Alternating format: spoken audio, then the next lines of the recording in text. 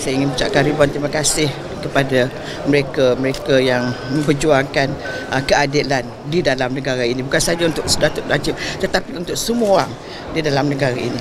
Ucapkan terima kasih. Proses pengampunan Datuk Najib macam mana? Ah, itu saya tak faham. Saya tak masuk campur.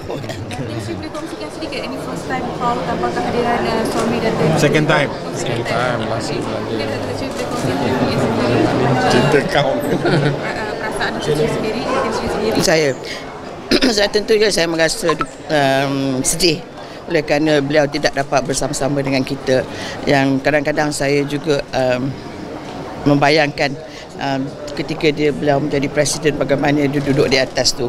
Memikirkan apa lagi nak cakap kepada ahli-ahli UMNO uh, dan juga apa lagi yang dia sepatut buat untuk uh, orang-orang Melayu dan juga uh, untuk negara Malaysia. And I I tell you he's always thinking of the rakyat and the country.